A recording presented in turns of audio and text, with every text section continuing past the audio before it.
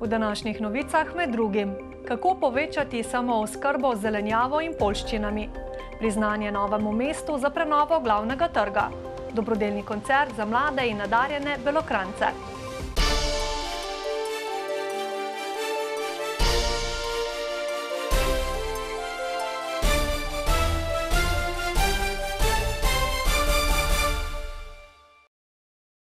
Lepo pozdravljeni. Mestna občina Krško je gostila sedmo redno sejo odbora za kmetijstvo, gozdarstvo in prehrano državnega zbora, na kateri so obravnavali točko o tem, kako povečati samooskrbo z zelenjavo in poščinami, namenjenimi za prehrano ljudi. V ta namen so na brodu pri podbočju obiskali tudi kmetijo, ki za slovenske razmere velja za eno večjih. Šlo je za prvo sejo odbora na terenu v tem sklicu. Člane odbora so zanimali predvsem zelenjadarji in sadjarji. Da bi spoznali najprej, kako pomembno je namakanje, torej brez namakanja ni pridelave zelenjave, da bi jih podprli pri teh odločitvah in po drugi strani, da bi jim pomagali pri ovirah in te ovire so vsekakor administrativne ovire. Se pravi, manj administracije pa več dela v praksi. Tokratna gostja, resorna ministrica, je izpostavila, da je Slovenija na tem področju v najboljšem sezonskem obdobju zgolj devetinpetdesetodstotno samooskrbna. Pomembno je, da pač skupaj usmerjamo proizvodnjo na tistih področjih, tako kot je bilo že povedano, na področju Pomurske regije, potem tukaj Posavja, Goriške, mogoče Dolenjskega, kjer so pogoji za namakanje, da se potem tudi usmerja kmetijska proizvodnja v zelenjadarsko proizvodnjo in pa v pridelavo krompirja kot poljščine. Eni večjih pridelovalcev slednjega so tudi na kmetiji Turk iz Broda v Podbočju, ki so jo po seji člani odbora tudi obiskali. Na kmetiji poudarjajo pomen namakanja. Brez namakanja zelenjave v Sloveniji ni, ne. Zdaj, če vidite tudi tujina, kjer je suša, ali pa lansko leto, ko je bilo, že tudi če imaš namakanje lansko leto pa velika vročina, ne moreš, ne moreš kvalitetne zelenjave ali pa sadja proizvesti, ne. To mora se eno se z drugim se mora poklopiti, ne. Brez namakanja pa rastlinske proizvodnje praktično ni, ne. Direktor Evrosada, ki v zadnjih letih poleg sadjarjev združuje tudi zelenjadarje, pa je izpostavil vprašljivost slovenskega porekla izdelkov in posledično nelojalno konkurenco. Ocenjujemo, da je ena velikih težav za pridelovalce sadja in zelenjave, kršitev porekla. Namreč, velikokrat se dogaja, da do pod pretvezo nekih manjših površin, ki jih ima v registru, prodaja nekajdesetkratnik, slovenskega porekla. S tem, ruši trg, zavaja potrošnike. Zaradi česar so pristojne pozvali, da poostrijo kazni za kršitelje. Strokovnjaki z različnih kmetijskih področij so tudi podali oceno, da če bi Slovenija izkoristila vse naravne vire in danosti, ki jih ima, bi v krajšem obdobju na področju zelenjadarstva lahko postala tudi samooskrbna.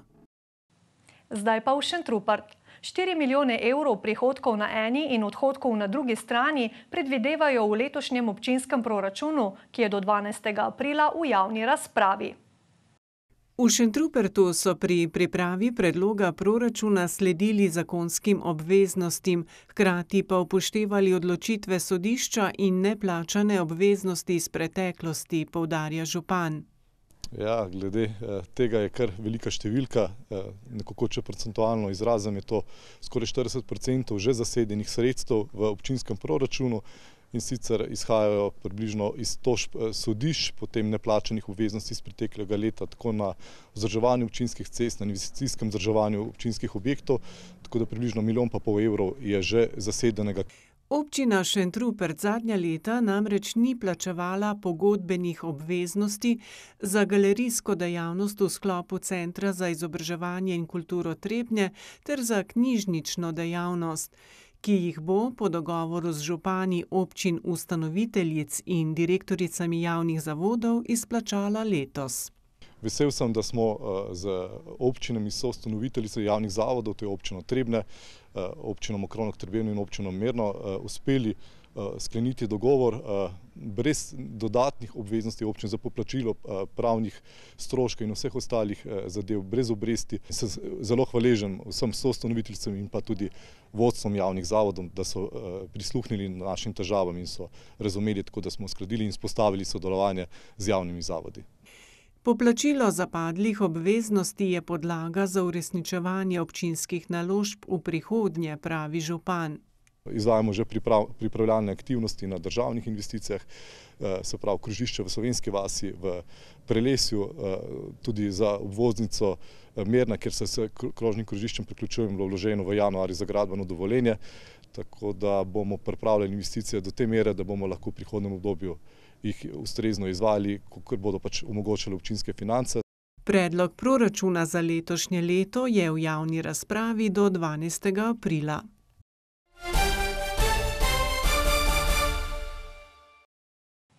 Novomeška občina je prejela priznanje šole prenove za prenovo glavnega trga v Novem mestu. Obnova je bila namreč prepoznana kot ena izmed uspešnejših prenov kulturne dediščine, saj je sledila historični ureditvi največjega srednjeveškega trga in viziji dviga kakovosti javnega prostora. Spomnimo, maja dva tisoč devetnajst so po poldrugem letu trajajočih gradbenih delih v dolenjski prestolnici odprli prenovljeno staro mestno jedro. Po petinšestdesetih letih je tako glavni trg dobil novo podobo in zaprt za promet zaživel kot prostor druženja in srečevanja. vesel sem, da tudi strokovna javnost prepoznava projekt prenove kot uspešno prakso prenove javnega prostora, pri katerem smo upoštevali vse zahteve, kulturne dediščine. Mislim, da nam je uspel zelo dober projekt, kar se kaže tudi pri dogodkih, ki so po prenovi zaživeli na glavnem trgu. V prihodnje nameravajo na območju starega mestnega jedra obnoviti Narodni dom, kmalu pa bo zaključena prenova poslovno-stanovanjske stavbe na Glavnem trgu dve. Tudi sicer se na Mestni občini Novo mesto zelo trudimo, da bi pri naših projektih zasledovali smernice ohranjanja kulturne dediščine, ker kot zgodovinsko mesto se praktično pri vseh projektih s tem srečujemo in to, tako bomo nadaljevali tudi v prihodnosti. Podelitev priznanj je potekala v Dolenjskem muzeju, poleg novomeške občine pa so v sklopu projekta nagradili še šestnajst lastnikov kulturnih spomenikov in objektov kulturne dediščine iz vse Slovenije. Lastniki so tisti najpomembnejši, so tisti ključni, ki se odločijo, ali bodo svoj čas, energijo in sredstva vlagali, namenili v obnovo svojih objektov kulturne dediščine in bojo s tem te stare hiše zaživele z novo življenje, z novo zgodbo. Šola prenove je nastala s partnerstvom Fakultete za arhitekturo Univerze v Ljubljani, Zavoda za varstvo kulturne dediščine Slovenije, Združenja zgodovinskih mest Slovenije, Srednje gradbene geodetske in okoljevarstvene šole Ljubljana ter Šolskega centra Škofja Loka. Priznanja so podelili drugič. Če so novomeški glavni trg prenovili že pred leti, pa so v Kostanjevici na Krki ob lanskem praznovanju sedemstosedemdesetletnice prve omembe mesta v pisnih virih kot osrednjo željo v prihodnjih petih letih izpostavili temeljito prenovo nekdanjega mestnega dvorca. Prvi obrisi, kako naj bi ta izgledal, so že znani. Pripravljalec projektne dokumentacije, za katero v letošnjem proračunu zagotavljajo osemdeset tisoč evrov, je občini namreč že posredoval tri konceptualne zasnove. Zdaj bomo mi pač, smo ustanovili komisijo, da vidimo, kateri osnutek bi pač sprejeli. dogovorili smo, da, da naredimo še neko, kako bi rekel, okroglo mizo ali delavnico na to temo, ne, plus anketo v sklopu Občine Kostanjevica, da vidimo, kaj dejansko mi bi v tem dvorcu rabili. Pomembno vlogo pri izbiri ustreznega načrta in želenih vsebin v mestnem dvorcu, katerega nakup je občino pred leti stal tristo tisoč evrov, bo torej imela tudi vsa zainteresirana javnost. V sklopu tega dobimo neke informacije, pač kako ljudje razmišljajo na to temo, kaj bi imeli v samem kostanjeviškem dvorcu, ne. Na občinskem svetu sprejeta idejna zasnova bo sicer le prvi korak na zahtevni poti nekajmilijonske prenove nekdanjega starega Farrovža, v katerem domuje tudi Lamutov likovni salon, ki je od potresa konec leta 2020 zaprt za javnost. Mi se tukaj zavedamo, da samo občina, samo občinski proračun obnove tega dvorca ne more prenesti. Ne. Mi tukaj brez nekih državnih, evropskih sredstev in tako naprej ne bo nič. Ne. Ampak mi moramo pa pač vse potrebno pripraviti, da potem lahko kandidiramo ali kakorkoli do kakršnega dogovora bo prišlo ali z ministrstvom ali z državo ali komorkoli. Ne. Še pred pridobitvijo gradbenega dovoljenja pa bodo morali v sodelovanju s pristojnimi ustanovami najti tudi rešitev za zaščito nekdanjega dvorca pred poplavnimi vodami. Brez nje so milijonska vlaganja v obnovo praktično nesmiselna.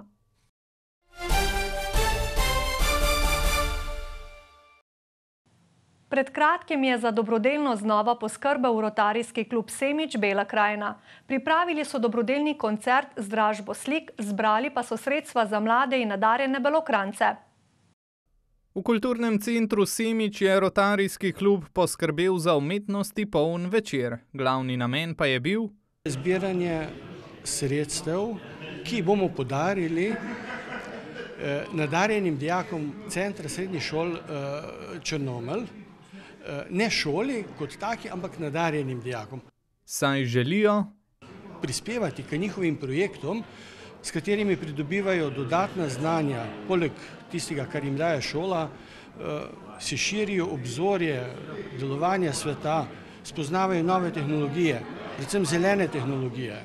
Pomembno je namreč poskrbeti za svetlo prihodnost. Pripričani smo, da bodo mladi našli sinergijo med razvojem in ohranjanjem narave. Vse vemo.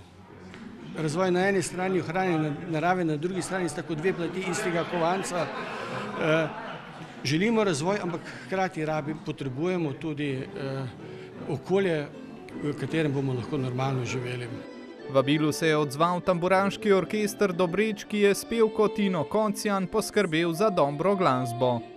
Z Dobrečem vedno sodelujemo na vseh prireditvah dobrodelnih, ki nas povabijo, pa tudi Rotary Club nam je veliko pomagal pri uh, sponzorstvu za opero, tako da smo se nekako dogovorili potem, da tudi ta koncert v sklopu tega oddelamo.